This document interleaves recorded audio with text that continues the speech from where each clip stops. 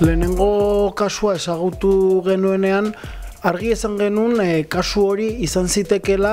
e, kasu bat e, praktika orokor eta normaloizatu baten e, baitan. Orain, e, salatu berri ditugun amar kasu hauekin,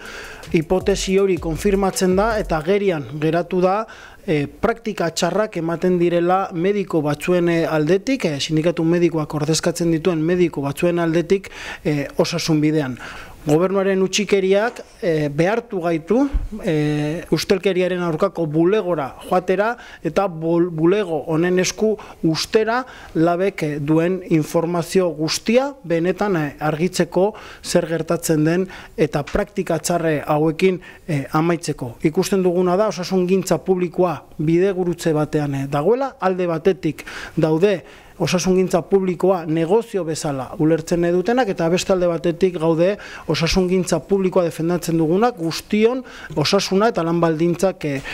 hobetzeko eta indartzeko. Horregatik, lab sindikatutik, dei berezi bat egiten diogun Nafarroako langileriari gizarte e, osoari larun bat ontan egingo den manifestazioan parte hartzera osasungintza publikoaren defentzan.